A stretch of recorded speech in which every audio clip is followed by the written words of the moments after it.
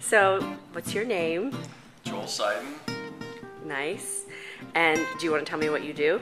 Uh, yes, I'm a partner uh, at Stonehenge Partners, which is a real estate investment company in New York City. That's awesome. When did you sort of decide I want to be a vegan? About two and a half years ago, uh, I went to a wonderful health retreat in Fiji of Tony Robbins, Nice. and I learned a lot about just the whole process of health, and, and, and decided after that week that it was time to uh, change the trends in my life and give up alcohol and become a vegan. Nice. And what did you notice immediately on that journey? Immediately, I slept better, felt better, uh, didn't feel addicted to coffee, didn't feel addicted to alcohol, didn't feel addicted to pretty much anything, and just had a, lost about 50 pounds, and just my life transformed, and I haven't looked back. My eyesight has amazingly, I've been wearing glasses and contacts since I'm about 10 years old. And at this moment, I am not wearing anything. I don't wear anything to drive. I don't wear anything to watch TV or see. Absolutely, um, my eyesight has improved. And is there anything that you ever miss? Uh, yeah, I miss a glass of red wine. I miss um, chicken wings. You do. I, chicken wings is definitely a downfall. um, I do um, uh, can't resist a brownie sometimes, which has some dairy in it, and I just say, okay, I'm not going to care.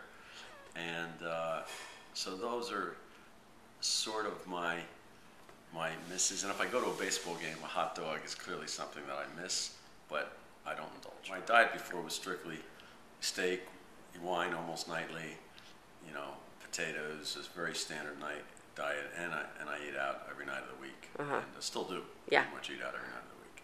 If this trend continues, mm-hmm. I'm really going to be in trouble in another five years. Yeah. And I better do something to reverse this trend and put health as a priority in my life, not on the bottom of the list. And I Right. pretty much had it on the bottom of my list, if it was on the list at all. Yeah.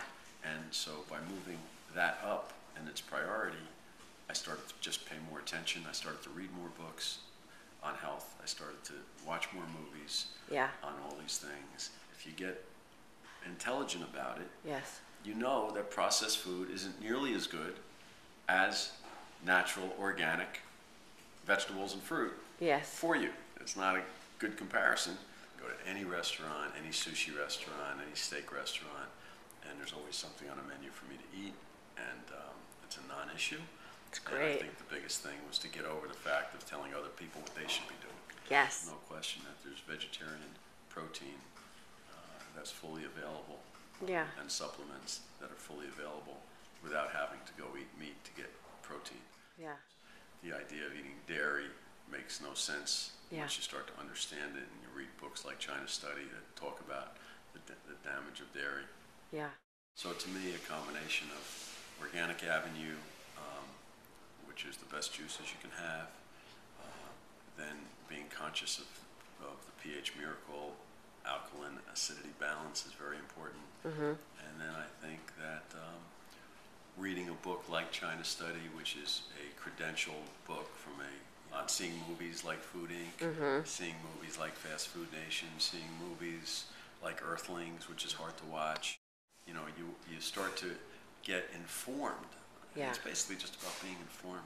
I think, like anything, when you're making a change, if you decide to be an example or be a leader, you have to just not be susceptible to the influences around you. Everybody's making shifts. It's wonderful. You know, they're finding that, you know what, it really is fun. The restaurants are still good. You can still entertain.